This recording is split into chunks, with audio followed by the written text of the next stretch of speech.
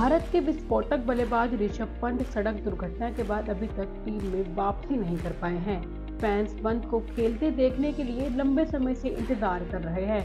IPL 2024 के auction में पंत अपनी आईपीएल की टीम दिल्ली कैपिटल्स की तरफ़ से खिलाड़ियों को खरीदने के लिए ऑक्शन के हिस्से बने थे। इसके बाद से ही बताया जा रहा है कि पंत वापसी के लिए पूरी तरीके से तैयार है और अगले साल अपनी टीम दिल्ली के लिए कप्तानी भी करेंगे। इस कड़ी में अब एक बार फिर से पंत की चोट पर बड़ा अपडेट आया है।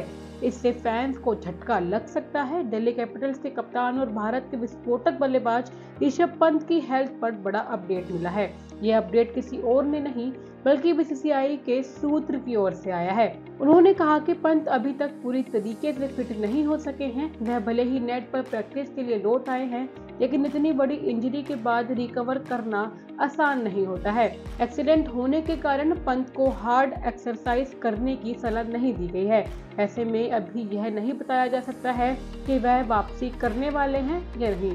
बीसीसीआई सूत्र ने कहा कि इसमें कोई आशंका नहीं है कि पंत तेज़ी से ठीक हो रहे हैं, लेकिन वह एग्जैक्ट किस समय वापसी करेंगे, यह बताना मुश्किल हो रहा है।